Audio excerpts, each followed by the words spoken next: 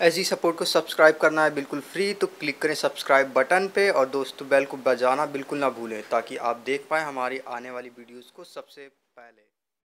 नमस्कार दोस्तों, स्वागत है आपका एच जी सपोर्ट के इस चैनल में। मैं बोल रहा हूँ एच जी दोस्तों, आज मैं बताऊँगा कि किस तरीके से आप अपने बालों को काला, लंबा और घना बना सकते हैं, वो भी बिल्कुल नेचुरल तरीके से। दोस्तों, हम अपने बालों का ध्यान नहीं रख पाते हैं और उसका ध्यान रखने के लिए तरह तरह के केमिकल युक्त पदार्थों का उपयोग करते हैं। तो मैं आपको आज एकदम नेचुरल तरीका बताऊँगा। फ्रेंड, इस नुस्खे में सबसे पहले आपको लेमन लेना होगा यानी नींबू। लगभग आधा नींबू आपको लेना होगा और पूरा रस उसका एक कटोरी में गार लेना होगा। इस रस को आपको अच्छे तरीके से निचोड़ लेना होगा और उसके बाद फ्रेंड्स, आपको क्या करना होगा? आपको लेना होगा नारियल का तेल। आप मार्केट से आसानी से नारियल के तेल को ख़रीद सकते हैं।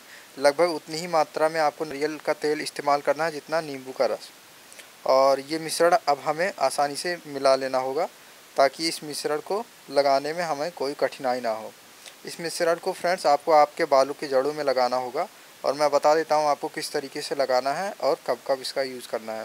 फ्रेंड्स आपको इसका इस्तेमाल लगभग पंद्रह दिनों तक करना होगा और हफ़्ते में चार दिन या फिर तीन दिन करना होगा। लगभग हर दूसरे दिन आपको इसका इस्तेमाल आपके जड़ों में कुछ इस तरीके से मसाज करना होगा। लगभग पाँच मिनट तक आपके बालों के जड़ों में इसका मसाज करना होगा। आपको हर दूसरे दिन इसका यूज़ करना होगा।